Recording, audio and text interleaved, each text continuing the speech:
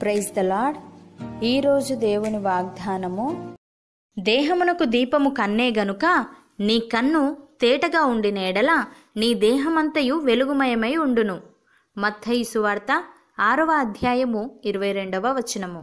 సహోదరి సహోదరులారా ఎవడునూ దీపము వెలిగించి చాటుచోటునైనను కుంచెము క్రిందనైనను పెట్టడు గాని లోపలికి వచ్చువారికి వెలుగు కనబడుటకు దీపస్తంభము మీదనే పెట్టును.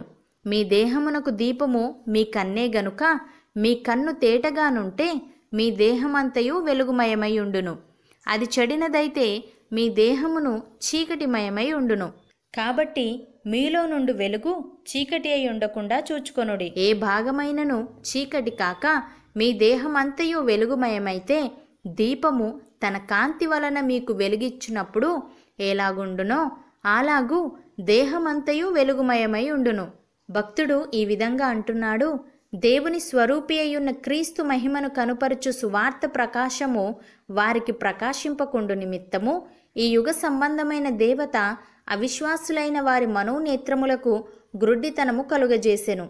అంధకారములో నుండి వెలుగు ప్రకాశించునుగాక అని పలికిన దేవుడే తన మహిమను గూర్చిన జ్ఞానము ఏసుక్రీస్తునందు వెల్లడిపరుచుటకు మా హృదయములలో ప్రకాశించెను గనుక మేము మమ్మును గూర్చి ప్రకటించుకొనుట లేదు గాని క్రీస్తు యేసును గూర్చి ఆయన ప్రభువనియు మమ్మును గూర్చి యేసు నిమిత్తము మేము మీ పరిచారకులమనియు ప్రకటించుచున్నాము అని. ప్రియులారా మోషే పెద్దవాడైనప్పుడు విశ్వాసమును బట్టి ఐగుప్తు ధనము కంటే క్రీస్తు విషయమైన నింద గొప్ప భాగ్యమని ఎంచుకొని అల్పకాలము పాపభోగము అనుభవించుట కంటే దేవుని ప్రజలతో శ్రమ అనుభవించుట మేలని యోచించి ఫరో కుమార్తె యొక్క కుమారుడని అనిపించుకొనుటకు ఒప్పుకొనలేదు. ఏలేయనగా అతడు ప్రతిఫలముగా కలుగబోవు బహుమానమందు దృష్టి ఉంచెను విశ్వాసమును బట్టి అతడు అదృశ్యుడైన వానిని చూచుచున్నట్టు స్థిరబుద్ధి గలవాడై రాజాగ్రహమునకు భయపడక ఐగుప్తును విడిచిపోయెను. అపోస్తులుడైన పౌలు ఈ విధంగా అంటున్నాడు ప్రభువైన యేసును లేపినవాడు యేసుతో మమ్మును కూడా లేపి మీతో కూడా తన ఎదుట నిలవబెట్టునని ఎరిగి మేమును విశ్వసించుచున్నాము గనుక మాటలాడుచున్నాము. కావున మేము అధైర్యపడము. మా బాహ్య పురుషుడు కృషించుచున్నను ఆంతర్య పురుషుడు దినదినము నూతనపరచబడుచున్నాడు.